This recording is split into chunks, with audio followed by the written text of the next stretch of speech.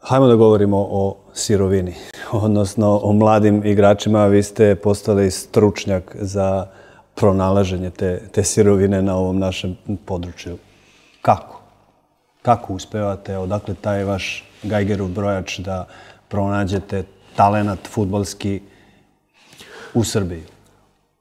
Pa ja sam bio direktor u Futbolskom savjezu Srbije pet godina. Mm -hmm. Bavio sam se ovaj, upravo tom temom. Bio, bio sam odgovoran i zadužen za sve naše selekcije, uključujući instruktorsku službu koja se bavila klincima od 10 do 14 godina.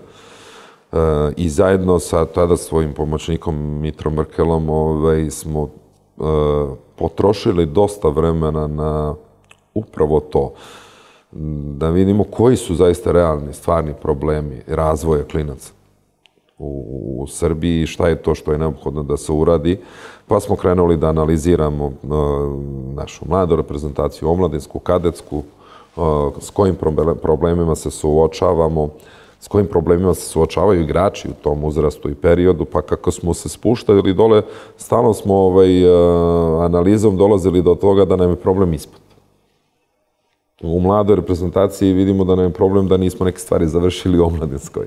Ako spustimo dole omladinsku, vidimo da u kadetskoj nismo baš namestili to za omladinsku i tako smo došli do ove instruktorske službe od malo pre koje sam pomenuo, od 10 do 14 godina.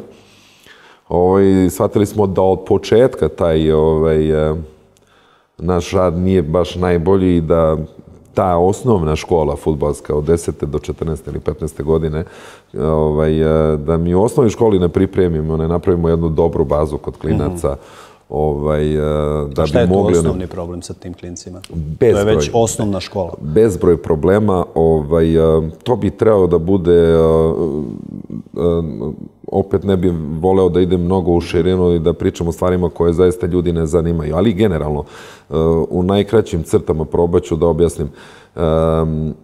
Klinci u tom uzrastu su jako nestalni. To je period rasta, to je period puberteta, to je period jak, ekstremnih fizičkih promena da, da. u njihovim telima.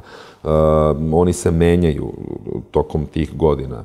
Morate sve te faktore da uzmete u obzir, ovaj, a da napravite program koji će da ovaj, programe i fizičkog razvoja i tehničko-taktičkog razvoja usavršavanja i psihološkog rada sa klincima. E, poslednje analize i studije iz Evrope govore o tome da uporedo sa tehničko-taktičkim razvojem jednog klinca istu važnost ovaj, ima i edukativni razvoj. Dakle, futbol u budućnosti neće moći da igraju glupi klinci. Morat će da imaju jako i sociološku, i socijalnu, i socijalnu i futbolsku inteligenciju da bi mogli da ispune sve ove zahteve mm. o kojima pričamo.